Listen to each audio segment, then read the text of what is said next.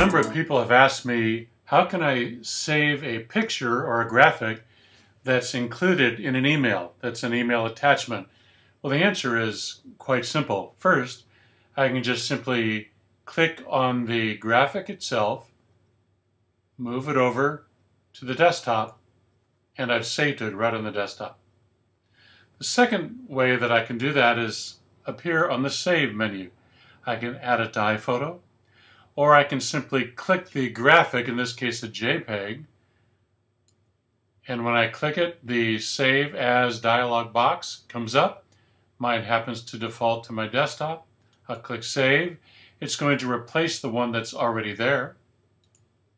And there you have it, a saved graphic from your email.